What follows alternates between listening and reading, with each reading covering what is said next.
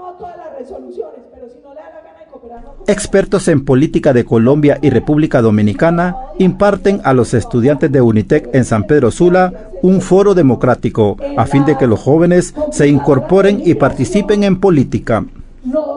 La base de verdad que es maravilloso y muy esperanzador para América Latina ver este grupo de jóvenes discutiendo sobre democracia, el tema de seguridad, transparencia, cohesión social. Eso lo llena uno de esperanza sobre lo que puede venir para la región.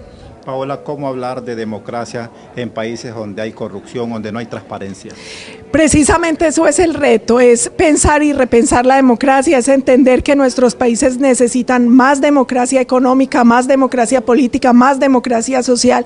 Y eso pasa por cinco elementos. Necesitamos más seguridad, más transparencia, más participación ciudadana, más independencia de las instituciones y más política social. Si logramos avanzar en esos cinco elementos, vamos a tener naciones con mejor democracia.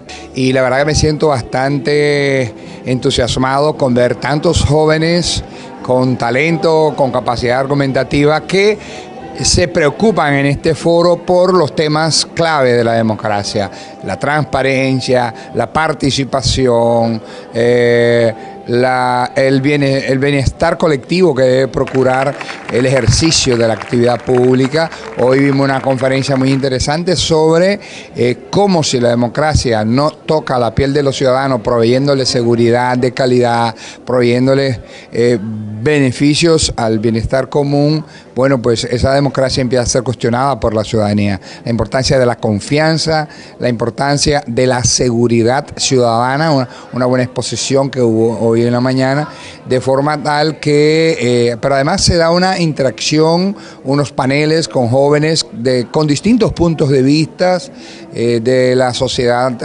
eh, hond- hondureña. En este foro político se debatió sobre la democracia y la transparencia tanto a nivel personal como gubernamental. Franklin Arias, RTV Noticias.